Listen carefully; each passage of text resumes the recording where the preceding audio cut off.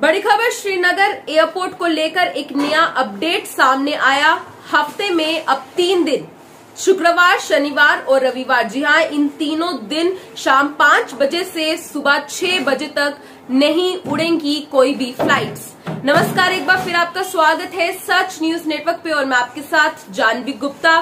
चलिए आइए जान लेते हैं क्या है पूरी खबर जो इस समय श्रीनगर इंटरनेशनल एयरपोर्ट की फ़्लाइट ऑपरेशन से संबंधित सामने निकल कर आ रही है।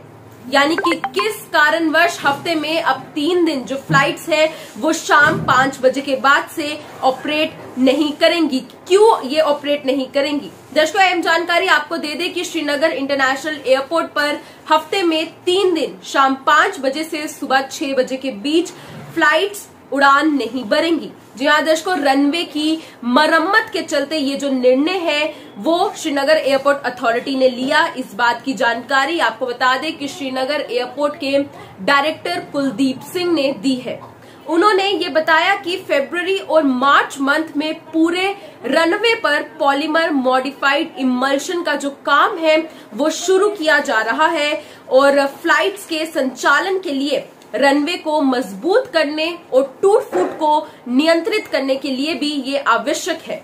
उन्होंने ये कारण देते हुए बताया कि ये कार्य जो है, वो सप्ताह में, एक वीक में, तीन दिन, यानी कि शुक्रवार, शनिवार और रविवार, इन तीनों दिन में ये जो कार्य है, मरम्मत का, वो किया जाएगा। ये काम शाम पाँच बजे से सुबह छह बजे तक जो है, वो किया जाएगा, ताकि इसकी वजह से फ्लाइट्स में कोई भी डिस्ट्रप्शन नहीं हो और कम से कम हो। और हफ़्ते में उक्त तीन दिनों में हवाई जहाजों के लिए रनवे सुबह छह बजे से शाम पाँच बजे तक ही उपलब्ध रहेगा। दर्शकों इन्फॉर्मेशन के अकॉर्डिंग जो फ्लाइट्स शाम पाँच बजे से सुबह छह बजे के बीच चला करती थी उन्हें हर दिन अब शाम पाँच बजे से पहले संचालित करने के लिए पुनः निर्धारित किया गया है। जी हाँ ये डायरेक्टर ने ये ऐसा भी बताया कि पैसेंजर्स को परेशानी ना हो, इसके लिए संबंधित एयरलाइंस ने उन्हें इस संबंध में पहले से ही जानकारी जो है वो दे दी है और यदि प्रभावित फ्लाइट्स के किसी भी पैसेंजर को इस बारे में जानकारी नहीं भी मिलती है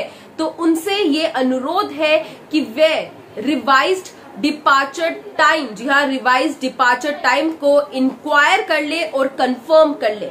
वहीं जिन लोगों ने फेब्रवरी और मार्च मंथ में शुक्रवार, शनिवार या फिर रविवार को शाम पाँच बजे के बाद अपनी फ्लाइट्स बुक कर रखी है, वे उसमें जो है वो बदलाव कर ले, क्योंकि ये नया अपडेट सामने आया है। इसके अलावा आपको ये जानकारी भी दे दे कि श्रीनगर एयरपोर्ट अथॉरिटी ने पिछले मंगलवार को 14 करोड़ से अधिक की लागत से तैयार एक नए डोमेस्टिक कार्गो कॉम्प्लेक्स से कार्गो संचालन भी शुरू किया है। जी हाँ दर्शकों इसने कार्गो कॉम्प्लेक्स में कोल्ड स्टोरेज संवेदनशील सामान और खतरनाक सामानों को सुरक्षित रखने के लिए, रखने की भी व्यवस्था जो है, वो है और ये कार्गो कॉम्प्लेक्स जिसकी हम बात कर रहे हैं, इसकी जाँच के लिए दो एक्सरे मशीनें भी लगाई गई। कार्गो कॉम्प्लेक्स की सुरक्षा सुरक्षित करने के लिए पूरे एयरपोर्ट प्रीमाइसिस में सीसीटीवी निगरानी के साथ कवर किया गया है।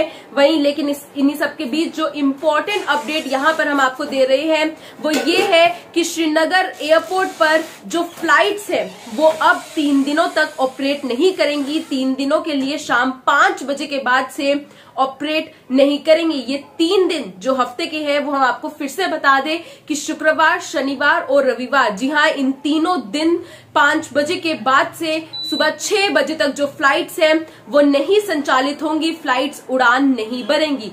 कारण ये है कि रनवे की जो मरम्मत है, वो इसी टाइम के दौरान जो है, वो किया जाएगा। इसीलिए जो श्रीनगर एयरपोर्ट के डायरेक्टर है, कुलदीप सिंह, उन्होंने ये अहम जानकारी जो है, वो लोगों तक पहुंचाई। फ़िलहाल ये थी बड़ी अपडेट आपके सामने। इसी के साथ आपको ये बताते कि ये जो खबर है, वो श्रीनगर इंटरनेशनल एयरपोर्ट के संबंधित है। वहीं अगर हम जम्मू एयरपोर्ट की बात करें तो जम्मू एयरपोर्ट जो है, वो अपनी नॉर्मल रूटीन में फ़िलहाल काम कर रहा है।